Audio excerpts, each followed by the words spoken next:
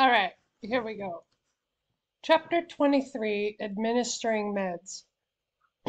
this is going to be Module 9. So this is not on your second test, it's on your third test. I do not own this material under fair use. I'm providing lecture content for my students only. Using this material, all content within is for educational purposes for nursing students and does not provide medical advice. Fabulous. All right, drug names. When you hear a drug name, Tylenol, is that the chemical name, the generic name, the official name, or the brand name? So thought process, chemical name for Tylenol would be acetaminophen. Generic name, acetaminophen. Official name, probably Tylenol, because that's how most people know it. But that was also the brand name. Okay. So when we talk about mechanisms to promote drug safety, when we talk about where's your drug book, there's multiple references you can use for a drug book. There's a pharmacopoeia, there's formularies, there are nursing drug handbooks. The PDR is referred to quite a bit. That's the physician's drug reference. Um, pharmacology texts, electronic internet-based formularies, a clinical pharmacist the package insert that came with the medication, and institutional medication policies and procedures. So think about this. Who is your resource for all drug questions? You're not going to call the doctor, you would call the pharmacist. They probably know the answer right off the top of their head. Okay?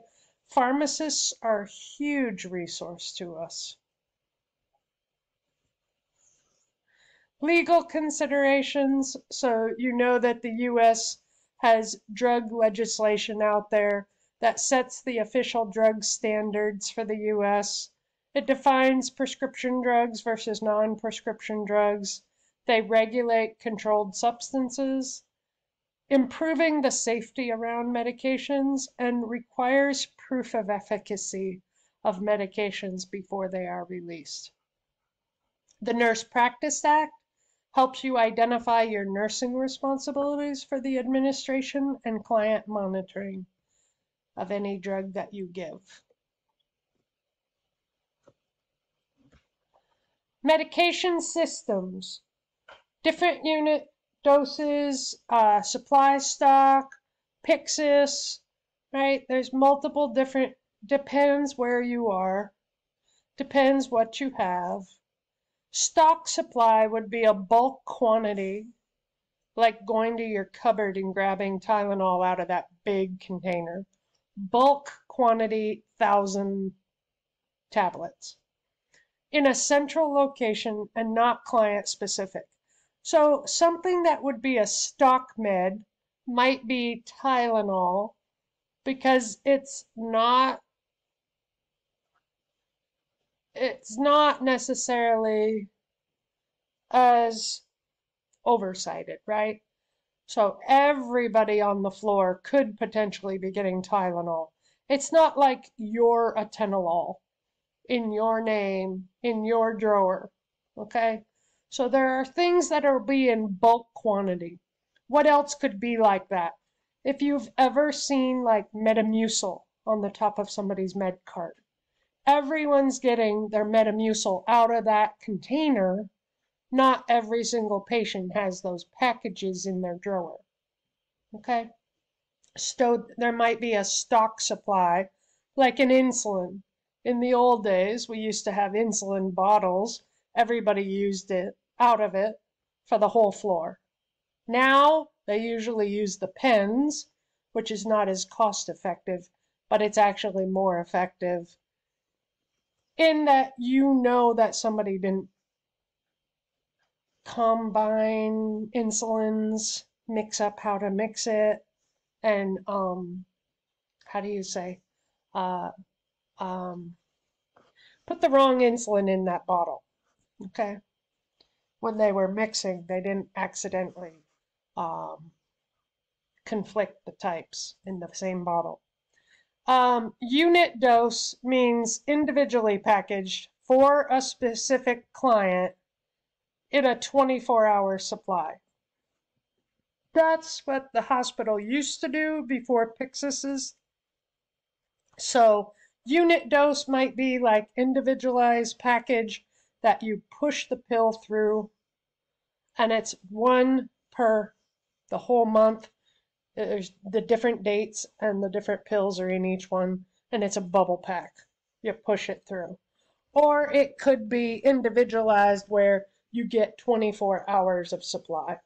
So they send you up three doses in one bag. It's not that you give all three, it's that you're going to be giving that one tablet three times that day. Okay? So every system's a little different. Wherever you go, they will identify what system they're using. Automated dis dispenser. This is the Pyxis. So the Pyxis is an automated dispenser that we put in our password. It pops out a drawer. We grab those. It's computerized tracked and it can combine some stock and some unit doses. So when you go to the Pyxis, you put in your patient's name, out pops a drawer, you grab that med, you shove it back in, the next drawer pops out, you pick up that med, okay? And there's computerized tracking of who's taking what medication. Then there's self-administrating medication things where there's individual containers and they're kept at the patient's bedside.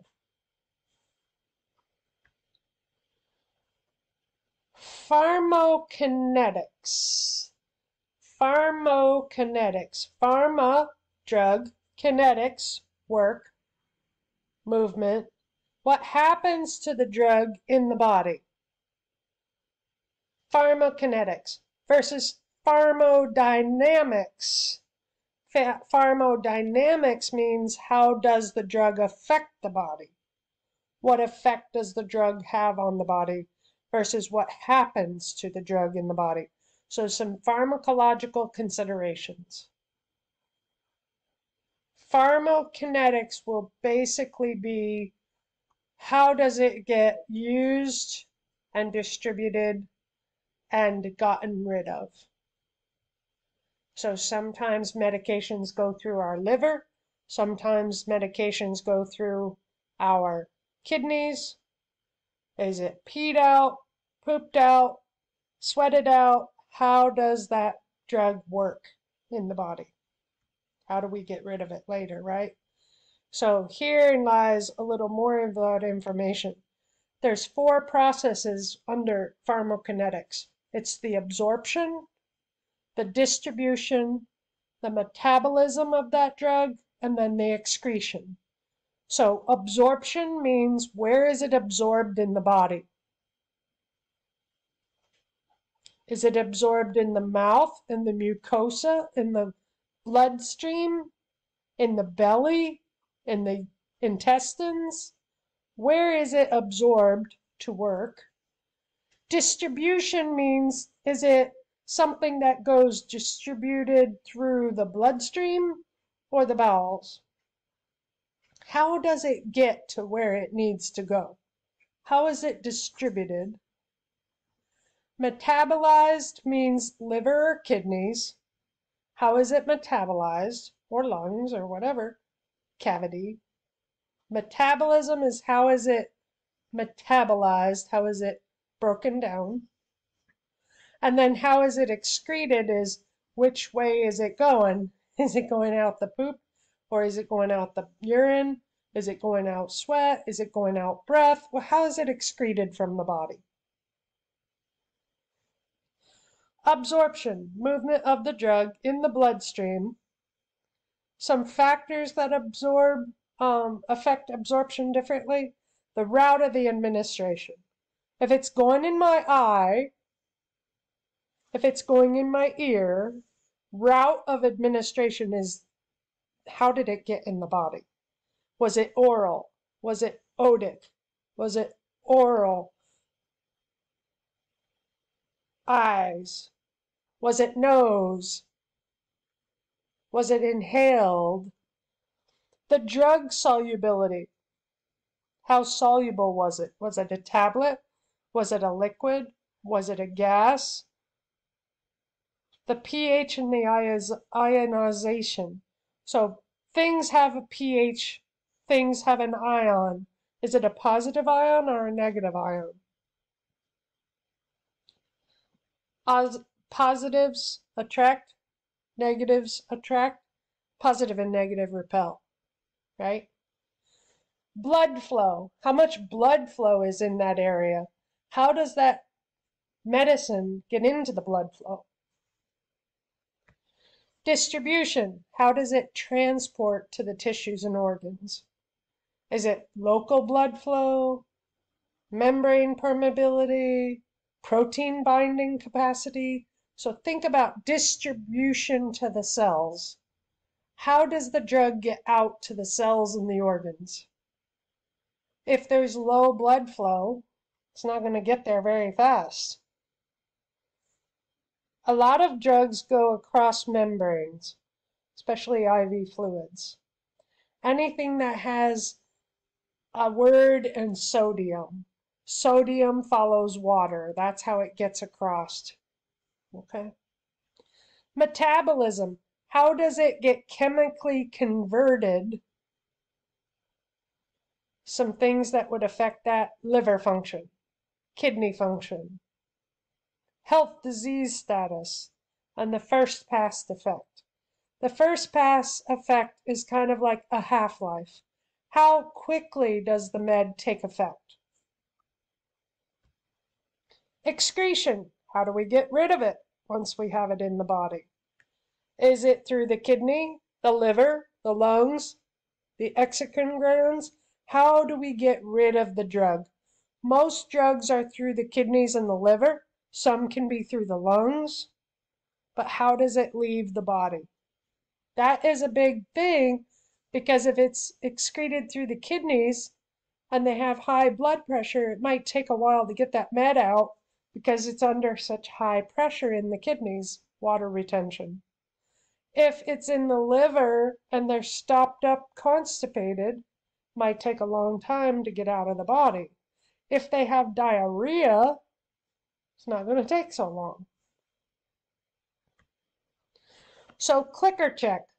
The patient has been on a low protein diet. This will most likely affect which pharmacokinetic process. Low protein, how is that going to affect low protein? That's probably not going to affect the absorption. Excretion, eh, low protein, that's good. High protein might affect my kidneys.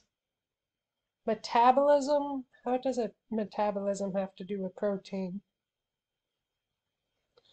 Protein distribution if it's a fat soluble vitamin.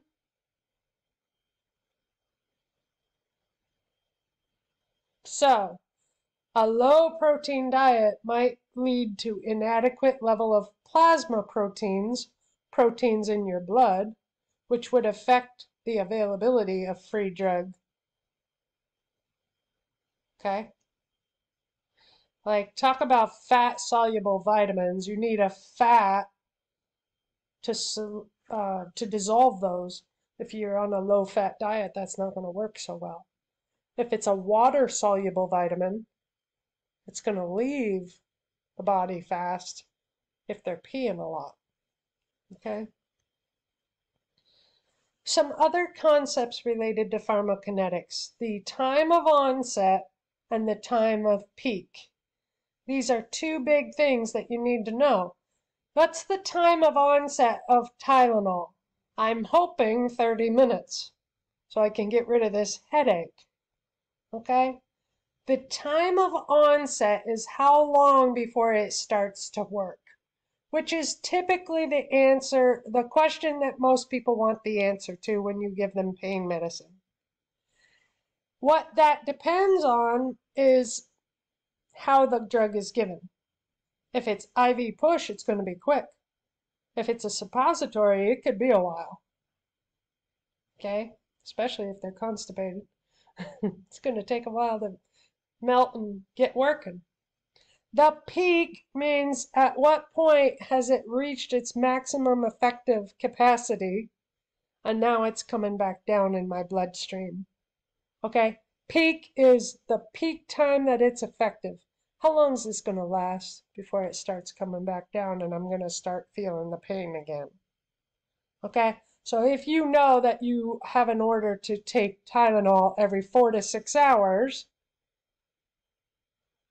somewhere the peak is somewhere between four and six hours because that's why you can take another dose. The peak's probably about two and it's coming back down and then it's safe to take another dose. Okay. Therapeutic range we talk a lot about with antibiotics. Okay. One in particular, vancomycin. Vancomycin can ruin your kidneys. I don't want to do that to someone. So I'm very careful when I'm giving this medication that I know when peak is, when trough is, and when therapeutic level has been achieved. So any medication that could hurt your body, we know the peak, we know when it's troughing, the low and the high of the drug. So with vancomycin, you will do a peak and a trough around a dose to find out if we're in therapeutic level. So a trough would be between doses. A peak would be at the peak effectiveness of that medication. So if I hang my antibiotic, I need to know when I need to draw the peak and then when can I do the trough again. Peaks and troughs are very important to be drawn on time. If the peak is not where we need it to be, or if the trough is too high of a level, I'm killing kidney, I'm killing liver, I'm killing things. So I don't want the trough to be too high and I don't want the peak to be too low. If my peak's too low, it's not enough antibiotic to kill my bug. If my trough is too high, I'm probably killing my kidneys and liver if I continue to give more met.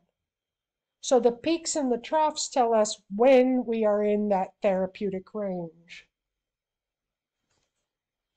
The biological half-life is the half-life of any drug in your body. So you need to know half-life so that you can understand when is it going to peak and when is it going to trough. The half-life of any drug will tell you how often you're going to have to give it. If the half-life of a medication is 24 hours, it's probably going to be once a day.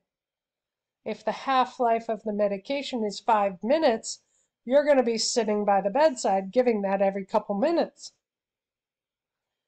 The concentration of active drug. What's the concentration of the active drug in that medication? So there are different um, medications like pain med that have different concentrations of the active drug in it. So if I have one tablet of Percocet, it could have 5 slash 325, and the next one have 10 slash 650. It's the concentration of the active drug in there. Percocet is half oxycodone, half Tylenol. So the first number is how much oxycodone is in it. The second number is how much Tylenol is in it. The concentration of the active drug changes between those two tablets. Factors that affect pharmacokinetics. Everything on this screen, right? Age. Why does age? Smaller body mass, larger body mass. Age slowing down of kidneys and liver. Tons of stuff to think about. Body weight, body mass, small body surface area, large body surface area, large fat deposits, with a fat soluble vitamin could be a big difference with a 90 pound grandma and 900 pound. Gender boys and girls break down meds differently. Pregnancy pregnancy is going to affect your pharmacokinetics. Environment route of admission administration. So route of administration, like I said, IV push is probably going to be the fastest, or potentially sublingual. Sublingual is going to be every three minutes, right? A nitroglycerin tab every three to five minutes. You can repeat that. That route is very quick under the tongue because it goes right into the bloodstream. If you don't have an IV site, sublingual is probably going to be faster before you start the IV. How else could you give medication? IM, sub-Q, oral, NG, peg tube, rectally. So it all depends how you're giving the med. The timing of administration matters. Timing of administration, let me just tell you, thyroid hormone needs to be given on an empty stomach.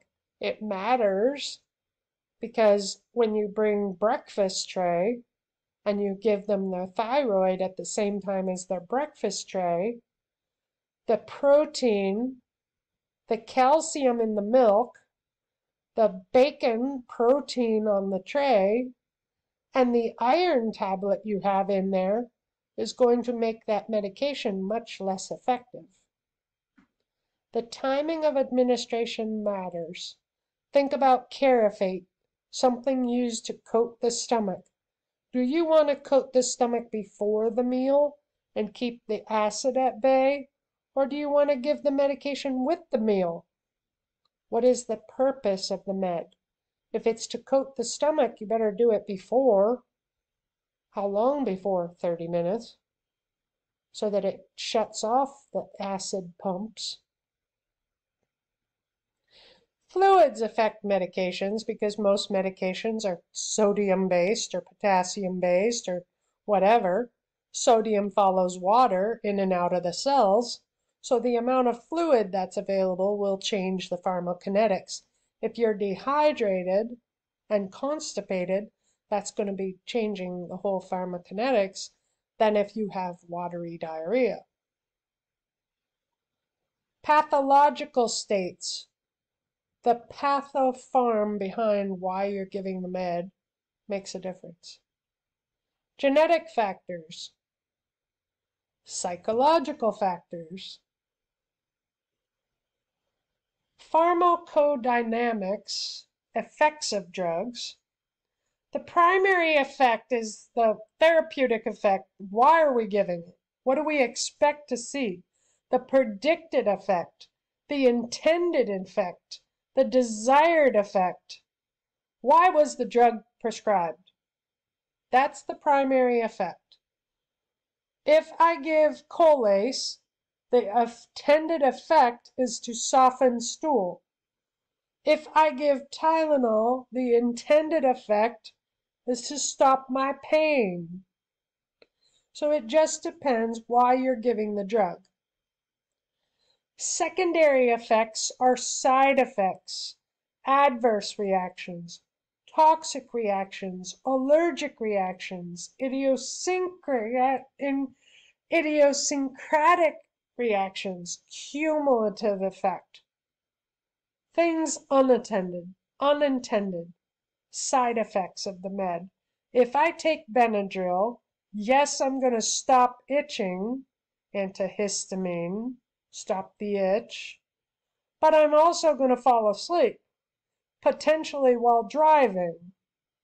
Not wanted. Side effect. Okay. Drug interactions occur. Are they antagonistic or synergistic? Are they incompatible? Question for you. Antagonist against each other. If your brother antagonizes you, he bothers you. So some medications antagonize each other. Think about this.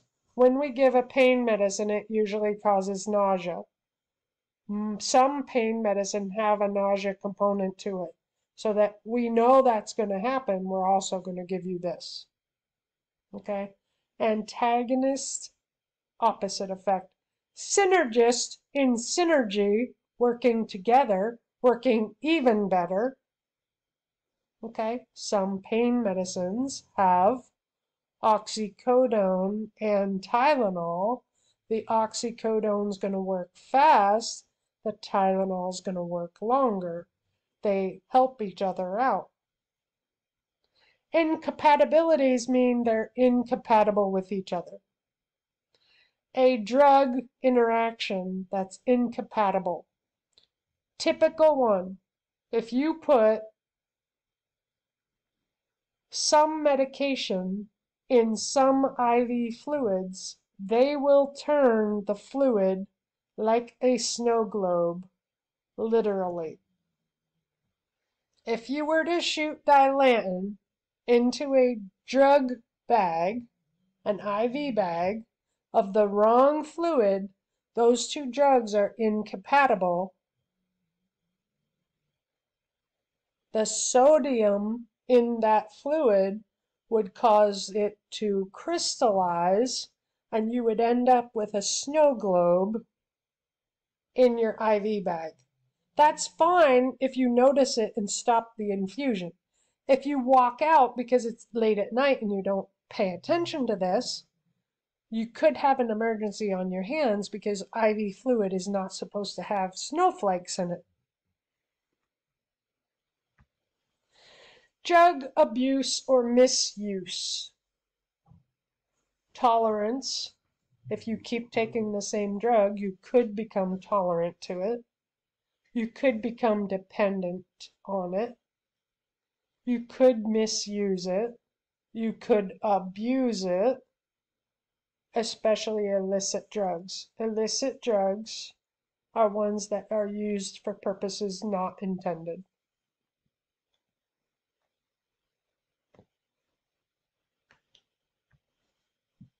Measure and calculate doses. So you know that we use the metric system, milliliters, the apothecary system, ounces, household system, teaspoon, tablespoon, units are like insulin, heparin, certain meds, and milliequivalents. So potassium is not like in milligrams, it's in milliequivalents. Magnesium is in milligrams or grams. Potassium is so small that it's measured in milliequivalents. So when you hang a bag and it's D5 1 half with 20 of K, the 20 means 20 milliequivalents. It's a small, small, small measure. Calculating doses. There are four ways to solve every problem, right? You can use ratio proportion. You can use solving for x. You can use nomograms. You can use Clark's rule. You can use dimensional analysis. There are many ways to calculate doses. Does it matter how you calculate it, or does it matter that two people get the same answer? When you are checking a component of a medical prescription, when you look at a medical prescription, a prescription bottle, you should see the name of the patient, full name, the date and the time, the name of the medication, the dosage size, frequency, and number of doses on the bottle the route of administration, and the printed name and signature of the prescriber with their DEA number as needed. That's on a prescription. The thing that they hand you, which typically is already automatically sent to the pharmacy, right? But if you had one in your hand, taking it to the pharmacy, this is what a complete prescription sounds like. Medication prescriptions that we take in the hospital should be written, transcribed. They should have an automatic stop date, which is usually in the hospital like a week out, because most people don't stay in the hospital more than a week. There should be a stat prescription. Stat means now. Don't think twice, don't pass go. Something that is stat needs to happen now. That takes priority over everything else. Stat nitroglycerin. I cannot tell you the day that a nurse got her butt handed to her by a doctor. The doctor said, stat nitro.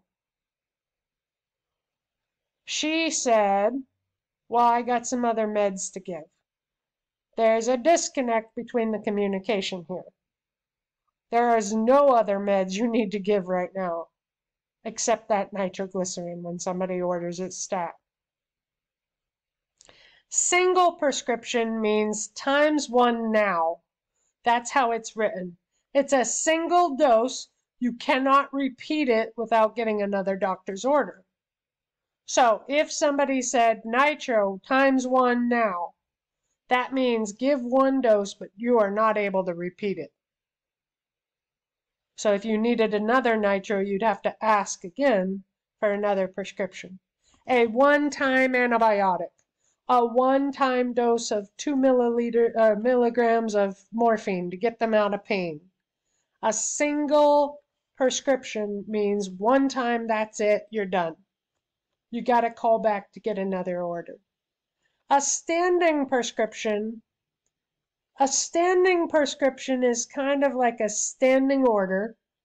It's a group of orders that the doctors at the hospital have all agreed upon that all of these kind of patients will get this drop down on their MAR. Standing prescription. If I put on blood sugar Q6 hours with sliding scale coverage. I do not have to think about which sliding scale coverage the doctor wants because it will automatically fall down on my patient's record.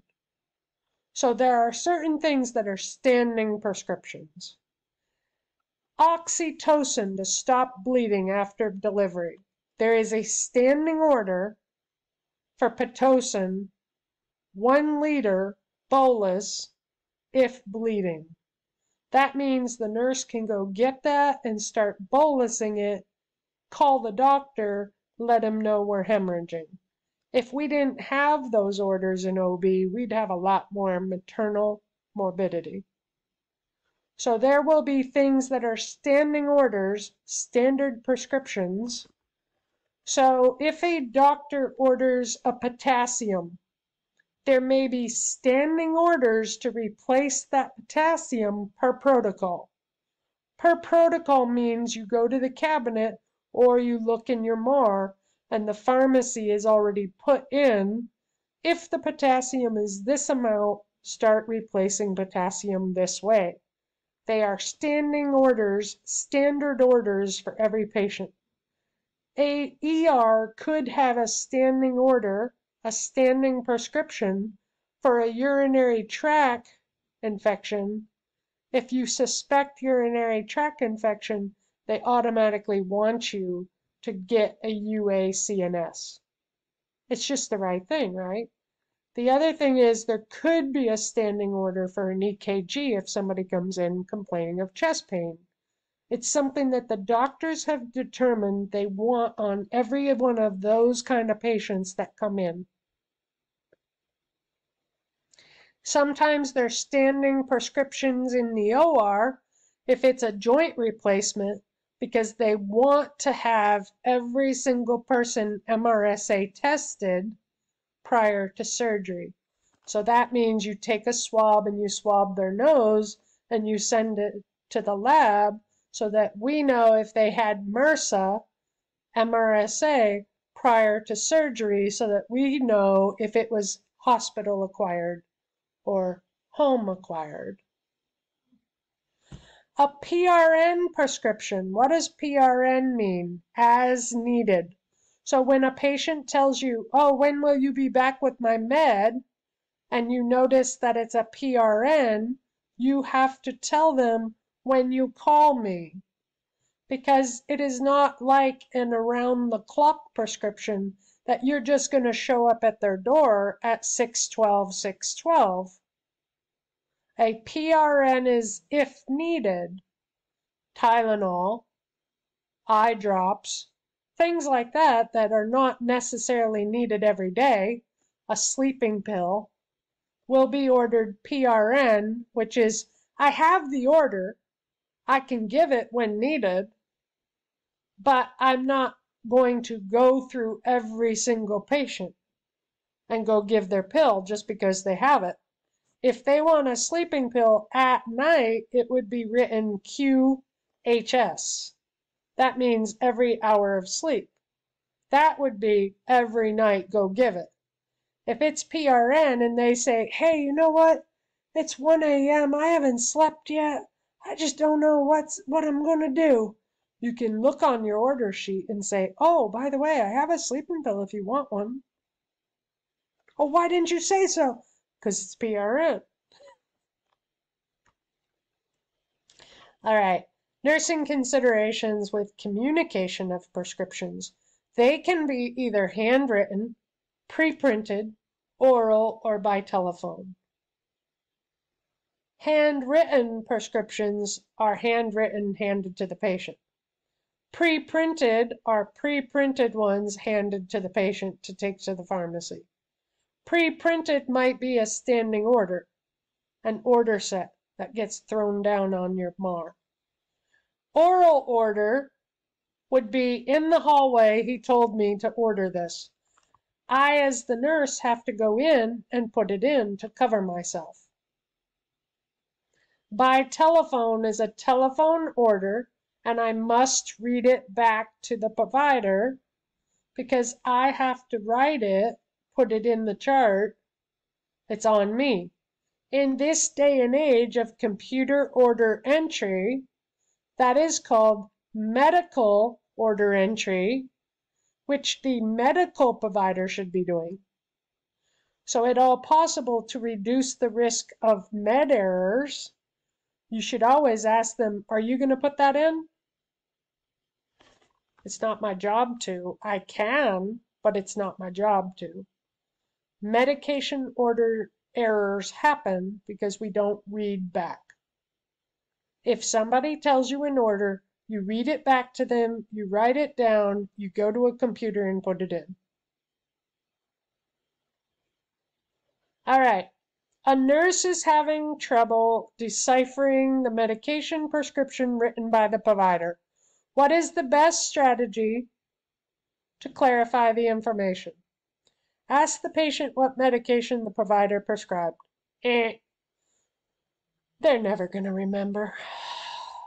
Call the pharmacist and ask them to read it. Probably not. Ask the nurse who knows the provider's handwriting to read the prescription. Is that really best practice? Why don't we call the doctor and ask them to clarify the prescription? If you ever have a question, what in the heck does he mean? You need to call the provider. The rest is passing the buck. Doesn't matter how long you've been working with that physician. If you can't read their writing, that's a problem. This is why we have computer order entry. All right. A nurse manager is investigating several near misses and an increase in med errors on the unit. The nursing staff discusses that they are having difficulty reading the handwriting of a particular provider.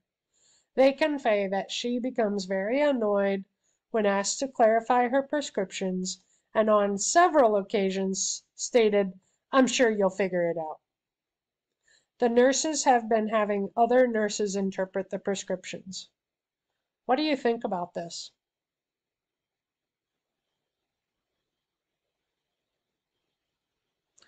What should be your initial actions? You're the nurse manager. Go to the source, right? What are you going to do? One, you're going to have those nurses write up an incident report. You're going to take down names and quotes of what's going on. and you're going to go back to that doctor. What safety concerns are evident in this scenario? We're going to talk more about this in 338. This is one, disrespect, two, not safety, three, disobedience. This can get you in big trouble. People should be able to question what's going on, what does this say, with no failure or threat of retribution. I'm sure you'll figure it out. That is not player friendly. What's the options available to the provider? What options are available to the provider? Here's the option.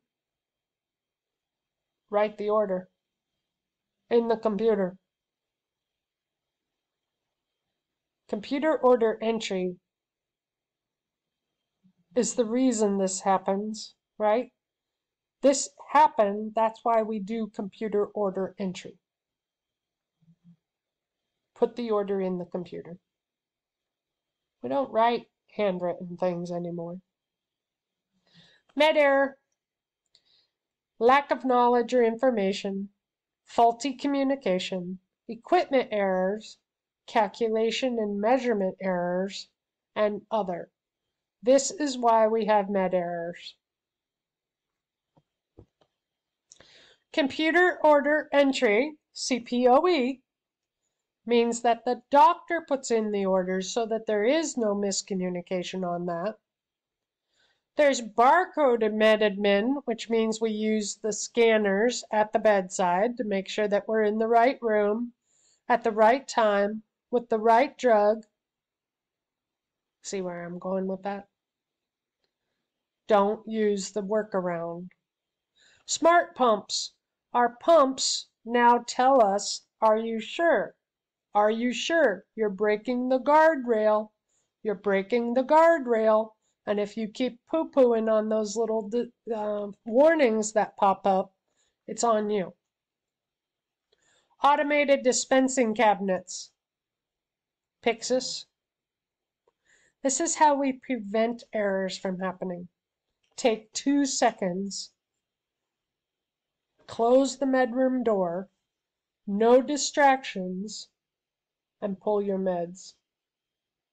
If you are distracted, stop and start again when you're not distracted.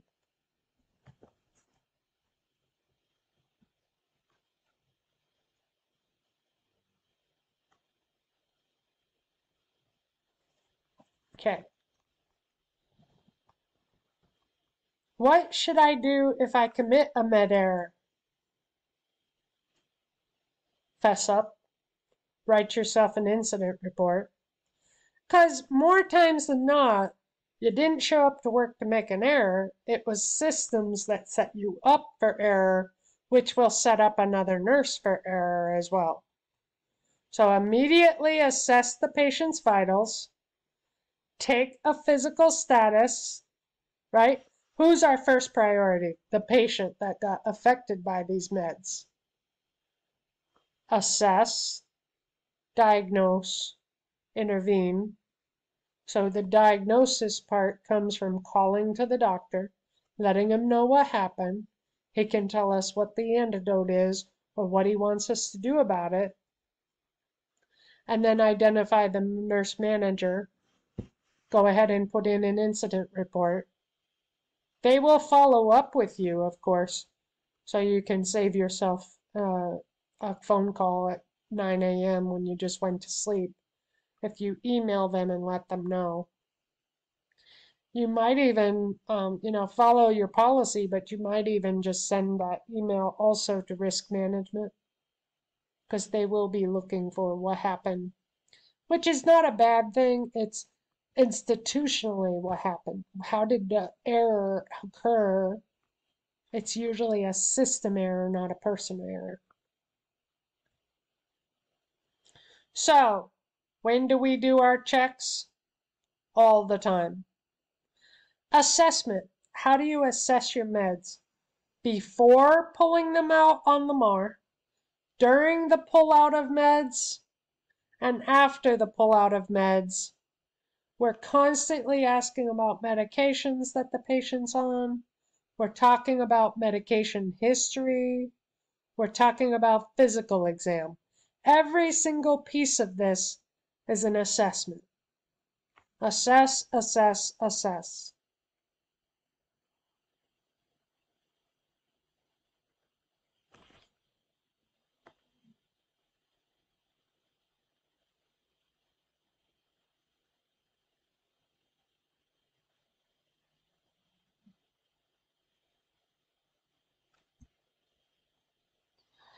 For some reason, I'm stuck. Let's see what we can do.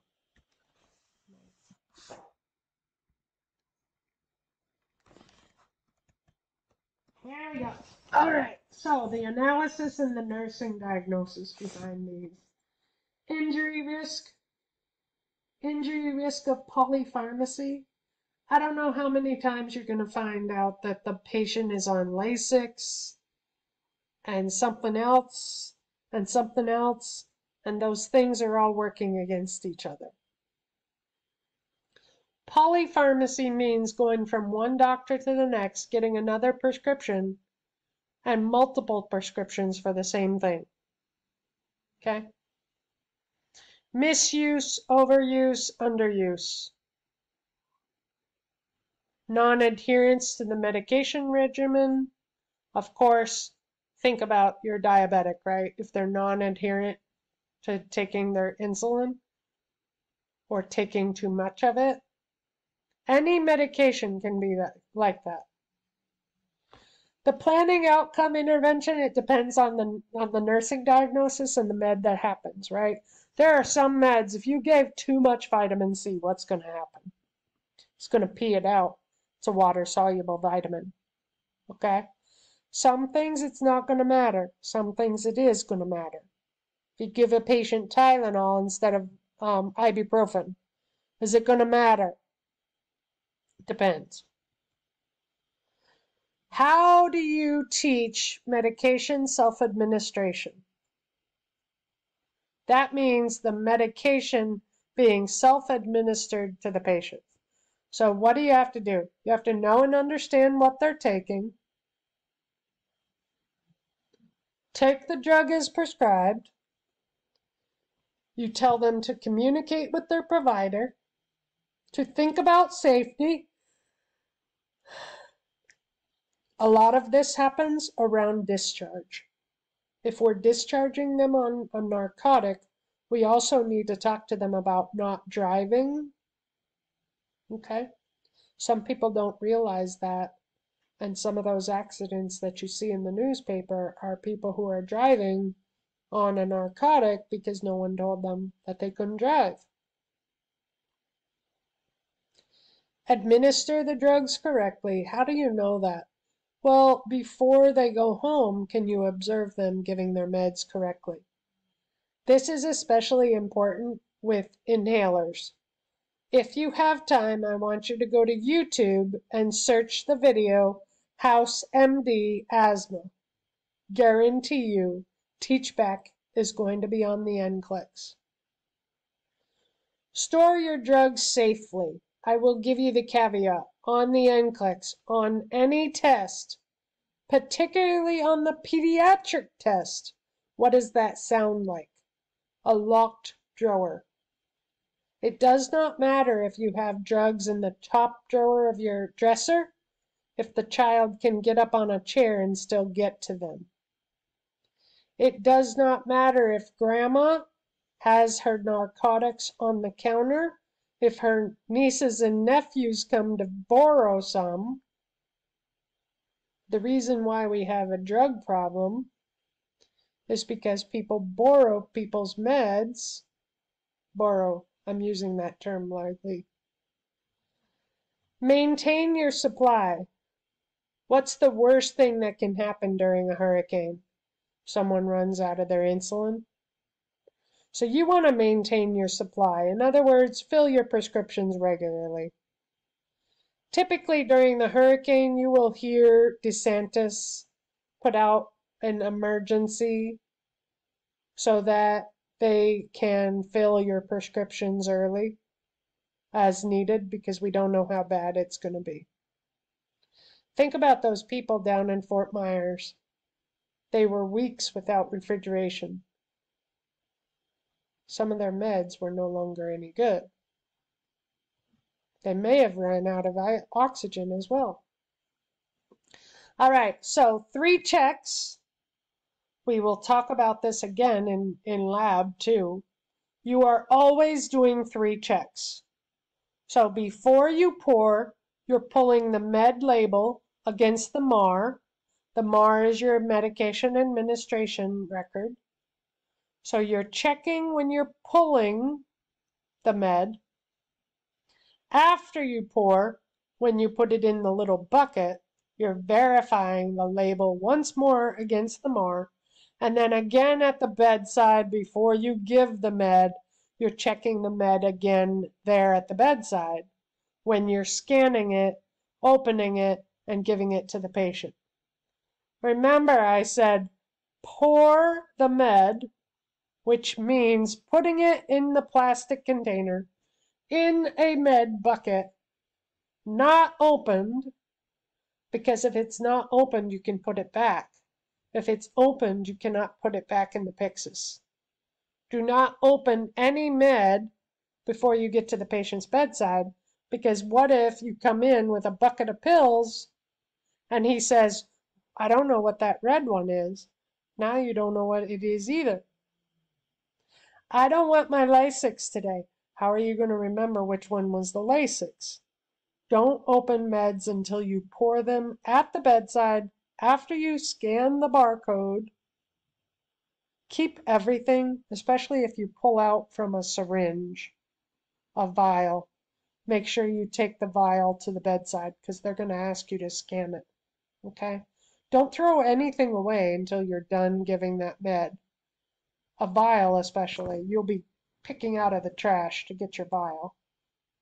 All right, so there are some rights. There are now six to remember.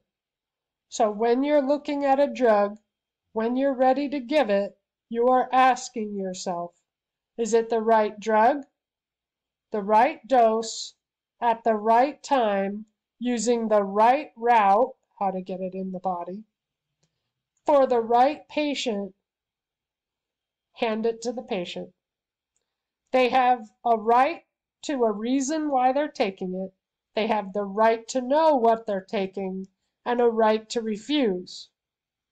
Then you take that med out of there that they refused. You document that you refused it. And then you document that on that MAR, you're giving all those other meds. So write documentation is last. I would tell you write education too, right? So you're constantly educating all along.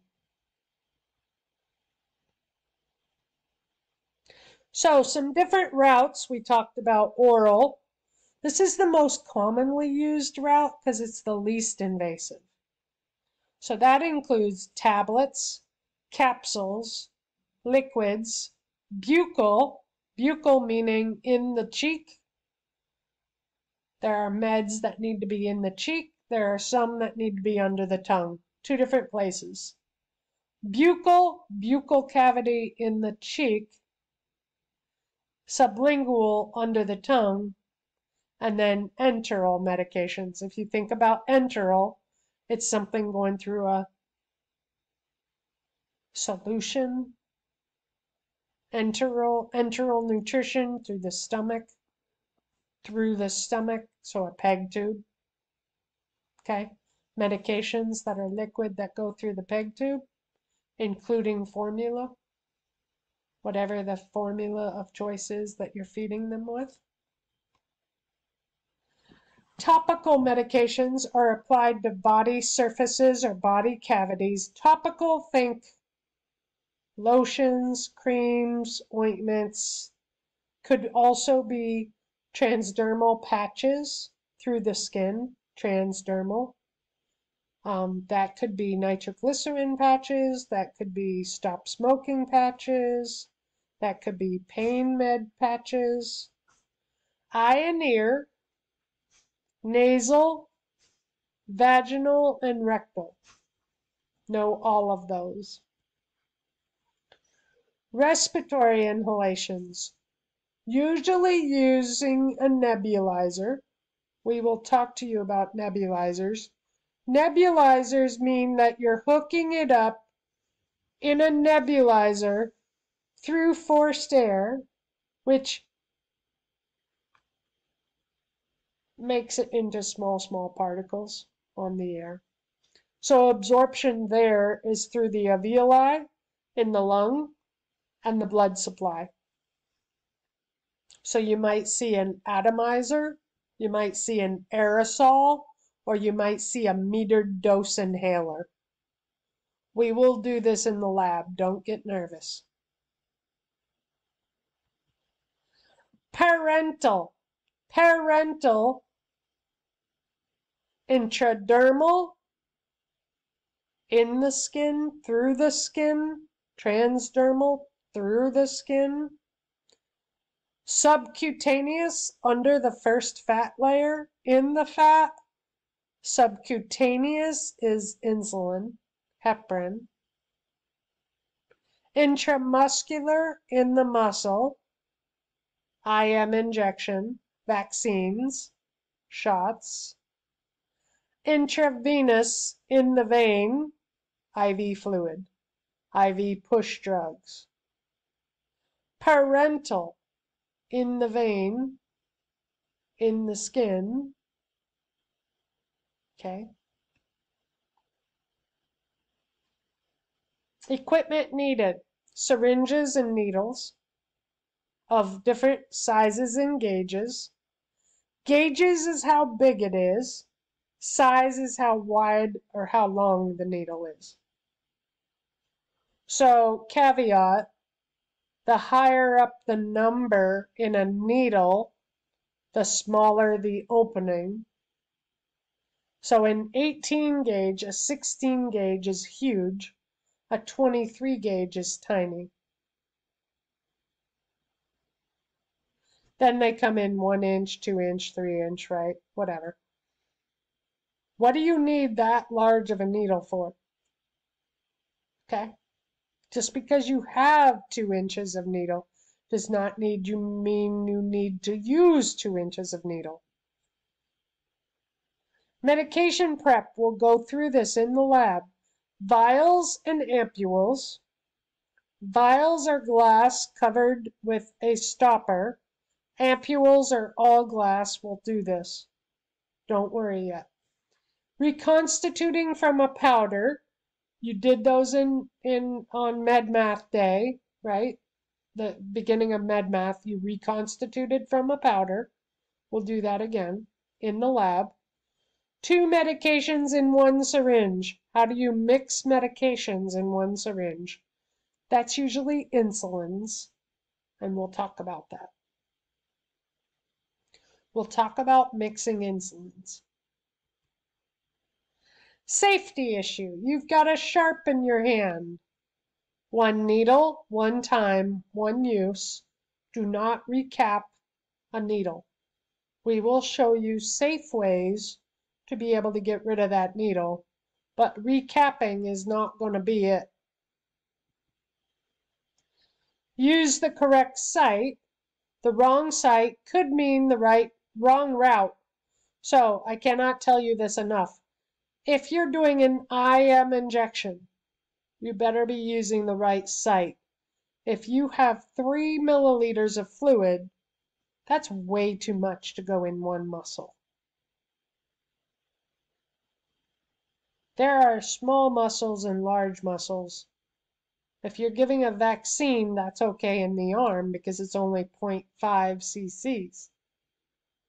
But if you're giving an antibiotic and it's a cc and a half, you better be giving it to me in my butt. Cause that gonna hurt the next day in my arm. You can cause major damage doing that. And then be familiar with techniques required for the medication. So there are special techniques for heparin and insulin and we'll talk about that in the lab. Heparin, you do not want to use your, your alcohol swab after and rub it. That's going to make it bleed under the skin and cause a big boo-boo. Insulin, do you want to pinch? Do you not want to pinch? Do you want to use the alcohol or not? Okay, questions we will cover in the lab. IV meds. So when we talk about IV meds, that might be an IV push, an IV piggyback, or a medicated drip. We'll talk about these. IV push means a small amount of fluid in a syringe. I go in over what many minutes I need to push it. I stop the IV fluid, I push the med, and then I start the IV fluid back up. I push in a method of SAS, saline drug administration, saline.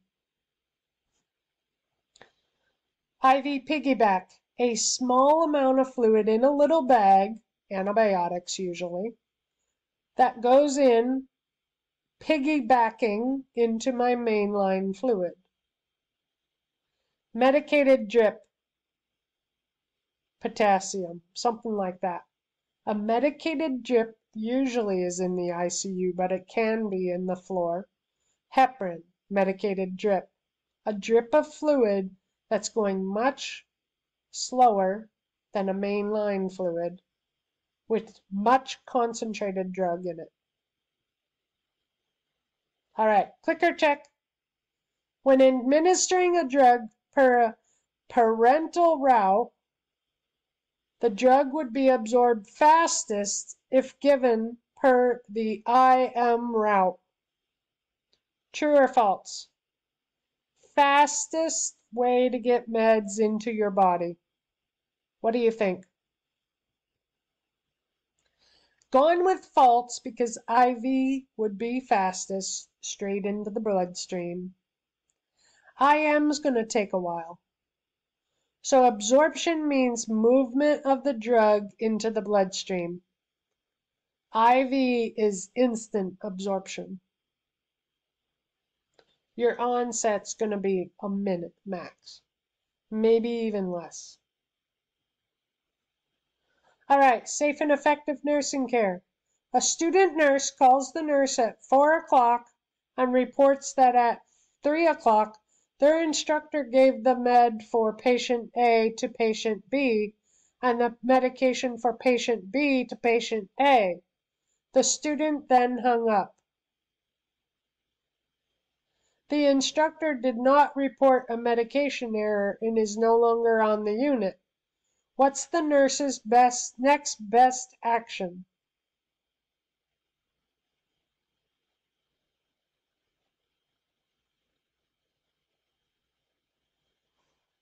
If the nurse nursing instructor is no longer on the floor, I probably need to call them, but what's my first priority? My first priority is not finding a person and figuring it out. My first priority is going to look up those meds after I take a set of vitals on the patient. Make sure the patient's stable. What did I give them, right? Go to the patient first, get a set of vitals, make sure everybody's okay, look up the drugs, find out what happened, call the doctor, blah, blah. A. Email the instructor an incident report and request that they return the completed report in 24 hours? No. I don't see anything about a patient there. Review the medication administration record for each patient prior to performing an assessment.